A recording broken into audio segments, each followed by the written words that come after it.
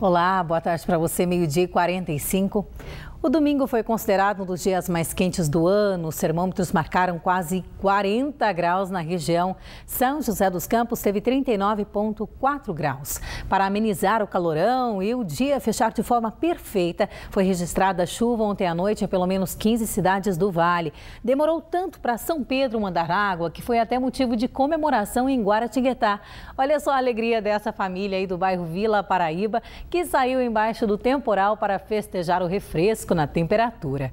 Felizmente, não houve estragos na cidade, apesar do vento, descargas elétricas e quedas de árvores mas a quantidade de chuva não melhorou os níveis das represas da nossa região. Na média, o volume útil de Santa Branca, Jaguari e Paraibuna chega a 6%, o pior da história. Hoje, amanhã e quarta, o risco de chuva fraca continua. Vamos ver agora o que diz a previsão do tempo. Depois de um domingo com um calor de 40 graus, uma frente fria mudou o tempo no vale. Para esta segunda-feira, a previsão de chuva fraca no Vale Serra e Litoral. O dia vai permanecer nublado e esse cenário representa o fim do calor extremo.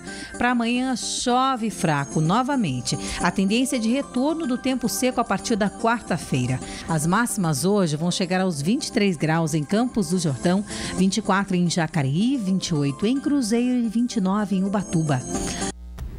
Completa hoje uma semana de rodízio de água em Cruzeiro, mas a boa notícia é que a medida não precisou ser implantada nesta segunda, pois a chuva do fim de semana melhorou e muito o nível desse reservatório.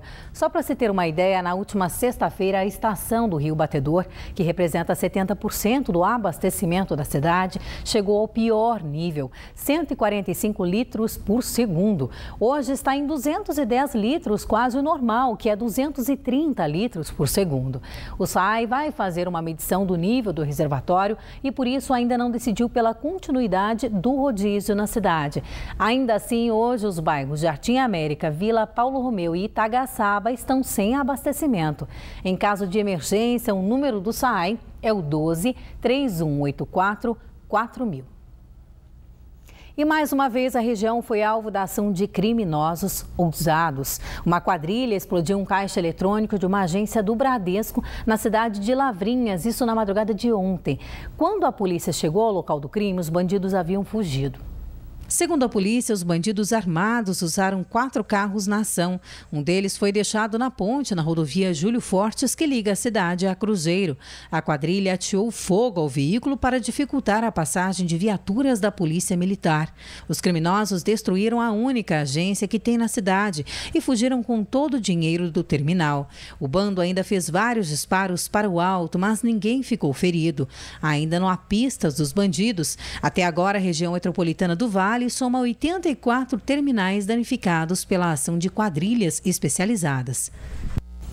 A assessoria de imprensa do Banco Bradesco diz que vai contribuir com as investigações e que os clientes poderão ter acesso aos serviços do banco através de uma unidade express dentro de um estabelecimento comercial que fica a 50 metros de onde estava o caixa eletrônico danificado.